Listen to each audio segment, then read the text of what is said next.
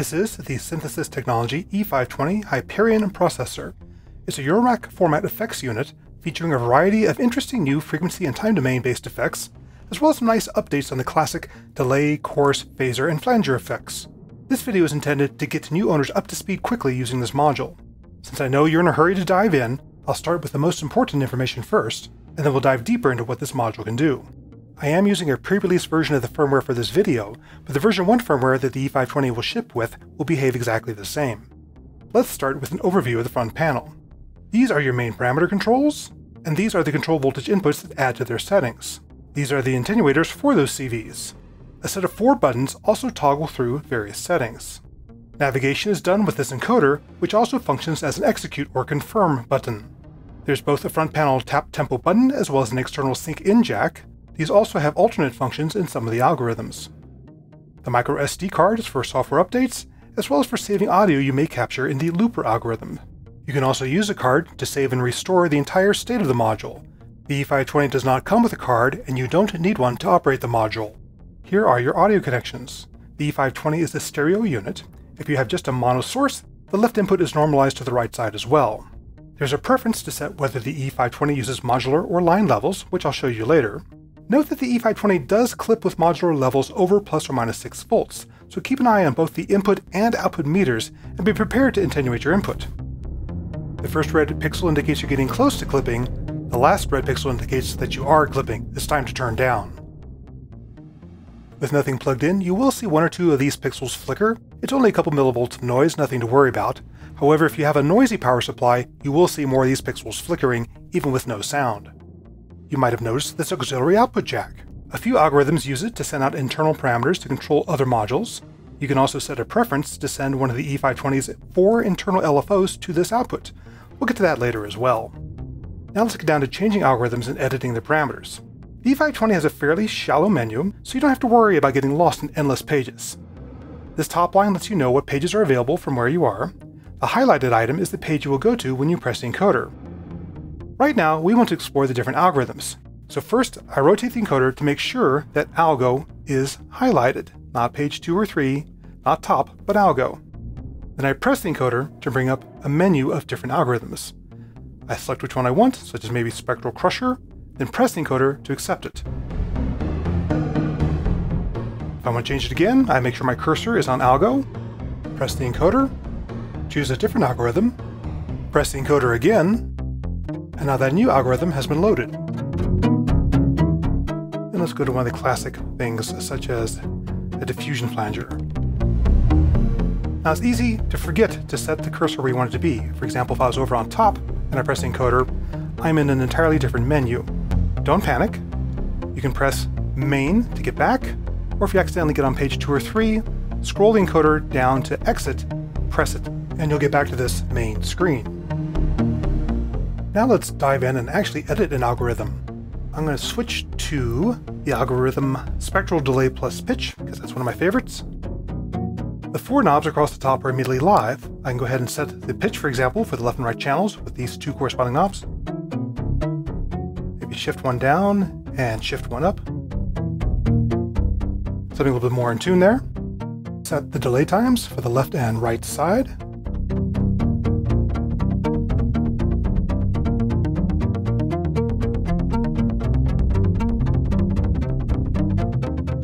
Buttons along the bottom toggle parameters on and off or scroll through a small list of parameters. For example, I can unquantize left and right pitch shifts and make them very fine detunes.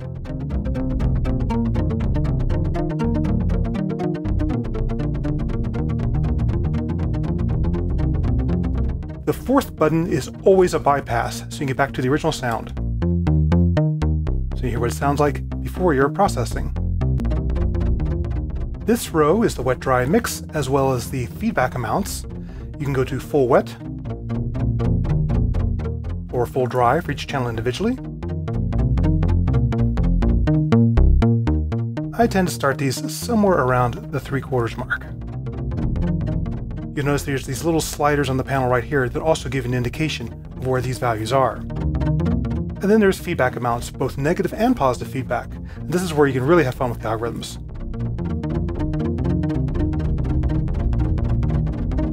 There's a preference to make sure your feedback does not get out of control, and I'll also talk about that later.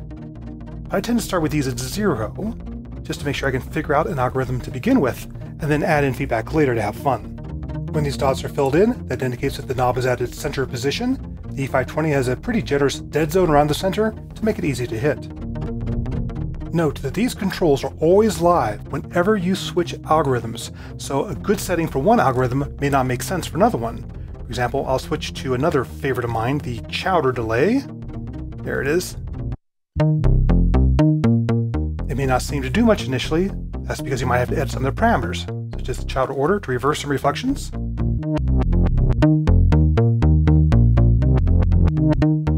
Change the time division,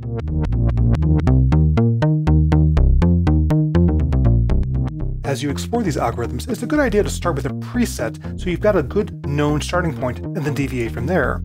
Presets specific to an algorithm are on page 3. So I'm going to switch my encoder to put the cursor over to P3, press it. There's always going to be at least one preset created by Robert Rich for each of the algorithms.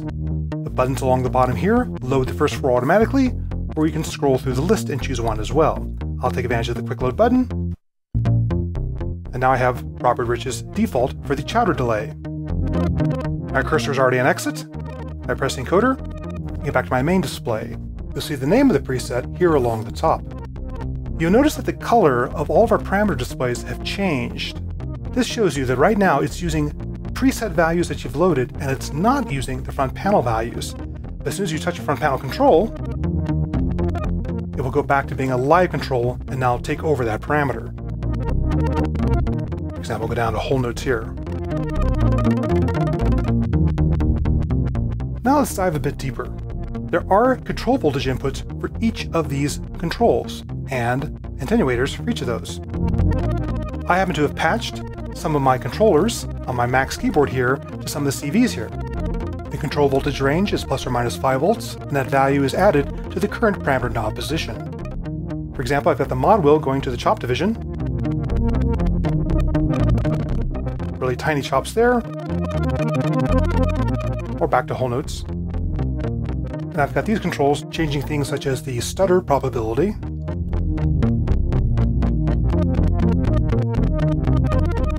And also the chopping order to go ahead and reverse some of these.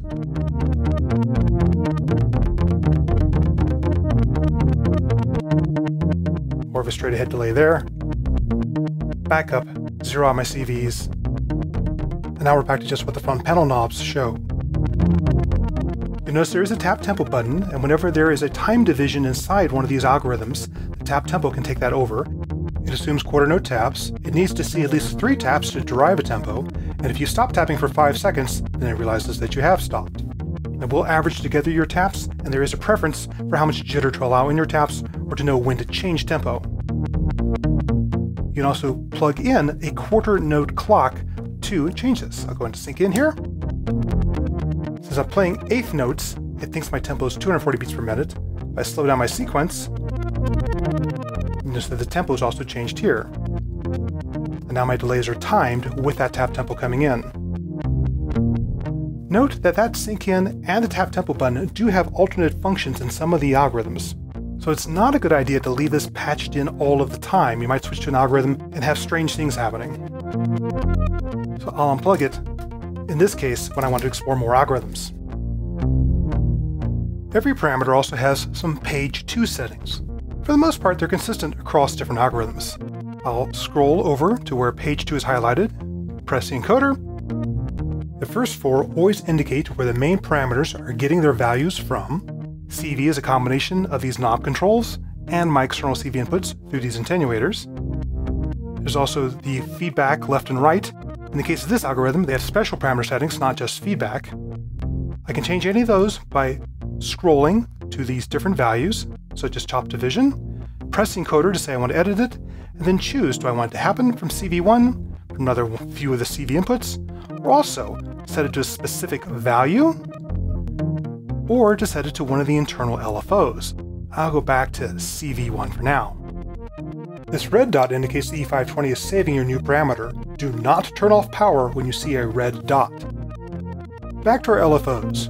Those four LFOs can be accessed in a couple different places. In the top menu, which I'll show you a little bit later on, and also by pressing one of these four buttons. When you press a button, you edit one of the LFOs. Again, you scroll up to whatever parameter you want to change, set the frequency, such as how long one cycle is. 100 seconds this is nice and long. Press to accept your change. Waveform, many different waveforms. You can see there's lots of different options here, including both periodic and random waves. Press to accept. Same with the offset and with the depth of the LFO. When you're done, scroll down to the bottom and press exit. You'll also notice that all of the algorithms have a high pass and low pass filter. High pass on the input to remove some of the low end rumble that might muddy up a particular sound, and a low pass filter on the output to maybe remove some of the high frequencies that might be interfering with your main sound. Also, some algorithms have additional page 2 values. In this case, it's things such as how to quantize the pitch. All of these settings are memorized as you switch algorithms, so when you come back, these settings will be as they were. You can also save them in presets, which we'll get to next. I'll exit out of this screen now let's say I really like this edit I've made on Robert Rich's original preset that's in here, and I want to save that. Again, I can save presets for the current algorithm on page 3, so I'll scroll across to page 3, click to go into that page, choose a new slot of the 6 to save it in, press the encoder, and then go ahead and name it whatever I want. I'll just go ahead and throw my name in here quick, not to waste too much time. You can have up to 8 characters per preset.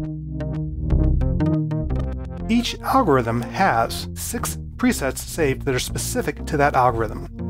Once I'm happy with that, I'll go ahead and press Save, and exit out of the screen, scroll down, and press encoder again.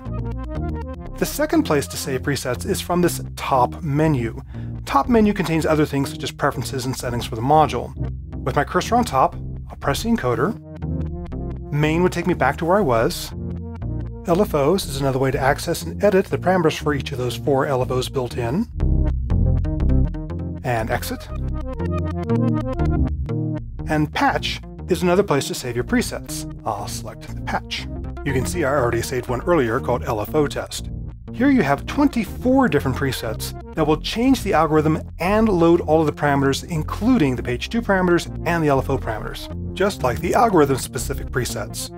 You can load these from this screen, you can also use the right mix control voltage to change these patches externally, say from a sequencer or a control surface. While I'm here, we might as well look at the other prefs, such as whether or not the display is in seconds, or beats per minute. Where there's room, the 520 will display both, but if there's not room, this chooses which one has priority. I'll go back to seconds. Same for frequency display. You can change how the parameters are displayed. Pie is the normal, but there's a couple different things such as arc, I'll select that, go down to exit, go back to main, and now you see it has a different display for our parameters. Go back to top, go back to prefs, pull back up to parameter style. It also is a bar graph option. Set that up however you like. I'll go back into prefs. Here's where you have your input and output level settings.